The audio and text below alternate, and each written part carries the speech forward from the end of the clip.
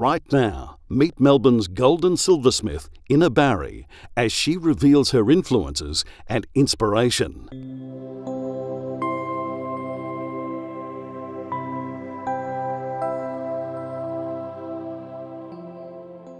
My grandmother had really, really beautiful jewellery collections when I was growing up and I got to play with them a lot.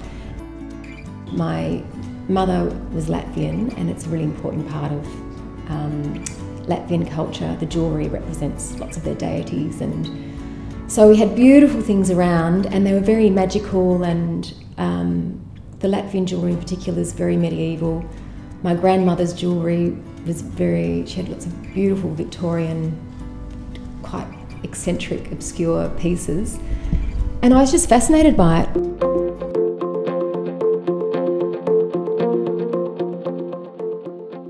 Started making jewellery because I was really, really passionate about it, and also I wanted a particular pair of earrings, which are actually these little earrings, these little hoops.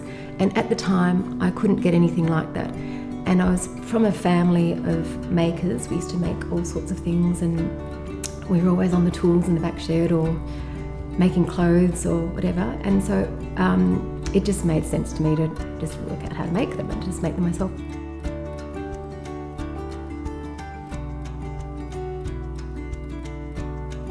I was lucky enough that the very first piece of jewellery that I made when I was studying, someone bought it from me that day because they really liked it.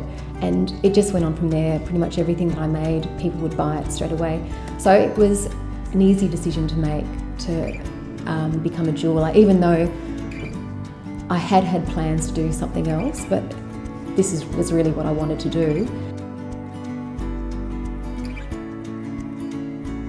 And because I wanted to do it, I did it, you know, every waking moment. I was just completely obsessed and had so much energy.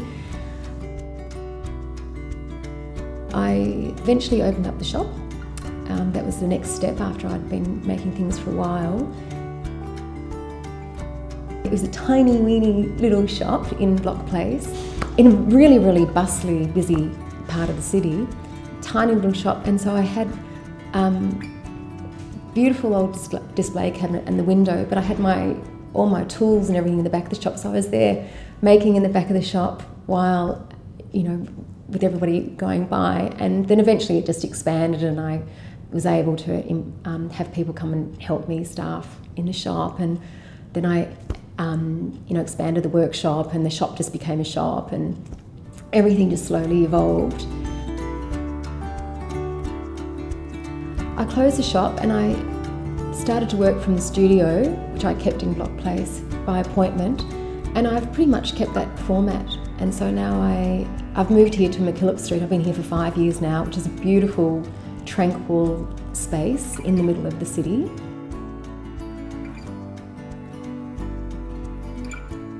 I have a wonderful group of clients that come to see me, whether it's for a gift or for a special occasion or people want to treat themselves. Now I'm working in the studio by appointment and just seeing clients making one-off pieces, it's far less production focused. It's much more individual pieces now. I have the tranquility to be able to design new things and uh, make beautiful things.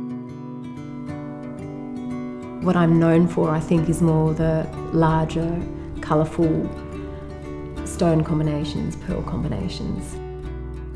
The quality is also a point of difference. My jewellery is very heavy and I use good materials and um, it does have a real feel about, you, you know you're wearing it. There is a bit of a, there's a weight to it.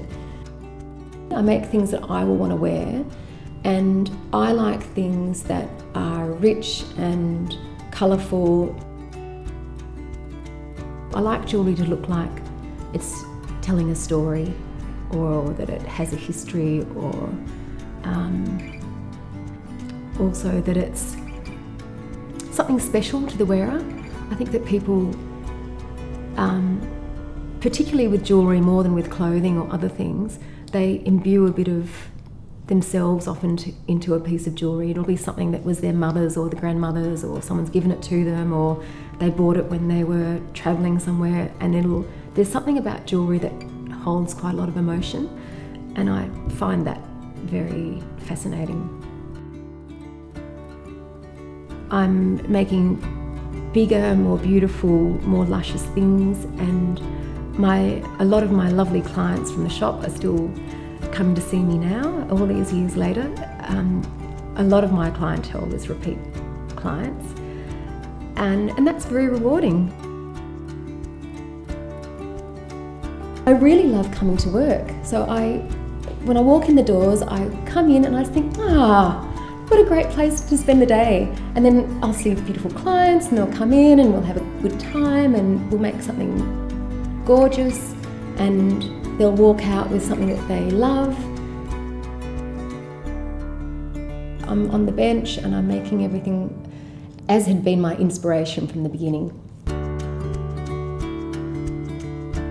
After all these years, still so passionate about it and I still love it